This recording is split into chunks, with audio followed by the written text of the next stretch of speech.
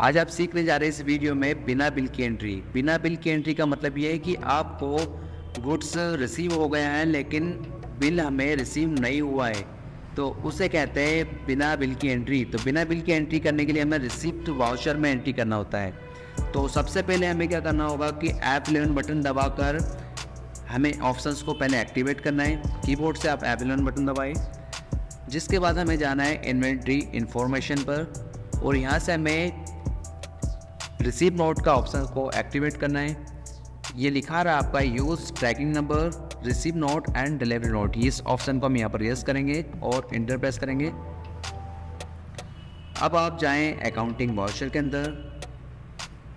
हमें करना है अब बिना बिल की एंट्री तो बिना बिल की एंट्री करने के लिए आप कीबोर्ड की सहायता से alt plus F nine press करें। एफ़ नाइन शॉट की होती है परचेज की और रिसिव नोट में जाने के लिए आप अल्ट के साथ एफ़ नाइन प्रेस करें। तो ये आपका यहाँ पर लिखा हुआ है रिसिव नोट तो रिसिव नोट में किस चीज़ की एंट्री होती है? बिना पिन की। अब आप यहाँ पर पार्टी का नाम लिखिए। किस पार्टी से आपने उधार में परचेज किया है, जैसे हम यहाँ पर सिलेक्ट कर रहे हैं? अमित मोबाइल शॉप इंटर क्या कर रहे हैं? मोबाइल परचेज कौन सा मोबाइल कर रहे हैं? जैसे हम मान लीजिए वीवो वाई ट्वेंटी वन एक मोबाइल है, इसको हम परचेज कर रहे हैं इंस्टॉलमेंट में। यहाँ पर जैसे मोबाइल आपने सेलेक्ट करा तो यहाँ पर लिखा आ रहा है use list of tracking number यानी कि हमें इस एंट्री को सेव करने के लिए एक ट्रैकिंग नंबर देना होगा। यहाँ पर ट्रैकिंग नंबर फिल करें। इंटर जितना आप मोबाइल परचेस कर रहे हैं, उतना आप यहाँ पर टाइप करें। जैसे हमने वन पीस परचेस करा है। ट्वेल्व थाउज़ेंड रुपीज़ में इंटर।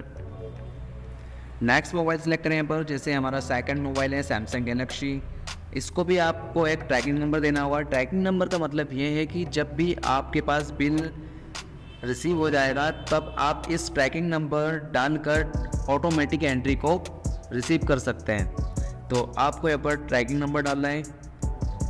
ट्रैकिंग नंबर डालते से ही आपकी एंट्री हमारे सामने जाएगी। ये भी हम वन पीस कर रहे हैं ट्वेल्व थाउज़ेंड रुपीज़ में। इंटर प्रेस करें एंड ऑफ़ प्लेस लास्ट तक इंटर करना है।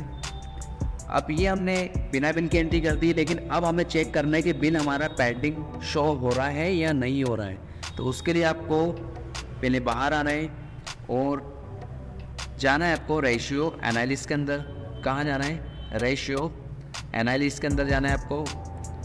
रेशियो एनालिस के बाद हमें जाना है यहाँ पर सन्ड्री क्रेडिटर पर। कहाँ जाना है? सन्ड्री क्रेडिटर पर। यहाँ पर क्लिक करें आप। तो यहाँ पर लिखा आ रहा है परचेस बिल टू कम एक बार और एंटर प्रेस करें। तो देखिए यहाँ पर आपका लिखा आ रहा है परचेस बिल पेंडिंग क्या आ रहा है आपका परचेज बिल पेंडिंग यानी कि बिल हमारा पेंडिंग शो हो रहा है। और नीचे लिखा आ रहा है आपका goods receive but bill not receive यानी कि गुड्स हमें रिसीव हो चुका है, लेकिन बिल हमें रिसीव नहीं हुआ है। तो इस टाइप आप किसी भी प्रोडक्ट की एंट्री कर सकते हैं यहाँ पर। जब हमें बिल नहीं मिलता है, तब हमें इस वाशर में एंट्री करना होता है। ओके अब हमें बिल को पेंडिंग से हटाने के लिए कहाँ पर एंट्री करना होगा? परचेस वाउचर में। मान लीजिए, अब आपने सामने वाली पार्टी का पूरा पेमेंट कर दिया है। अब उस पार्टी ने आपको बिल बनाकर दे दिया है तो उसकी एंट्री आप यहाँ पर कैसे करेंगे?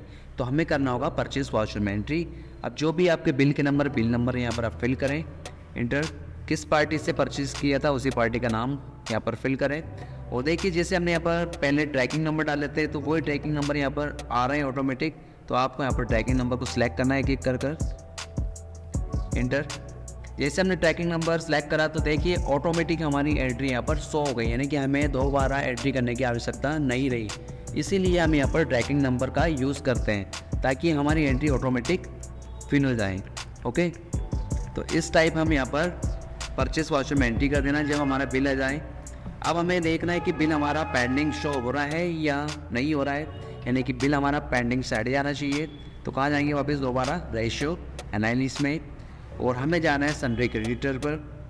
तो देखिए यहाँ पर हमारा बिल पेंडिंग नहीं बता रहा है, यानी कि पेंडिंग से हमारा बिल हट चुका है ओके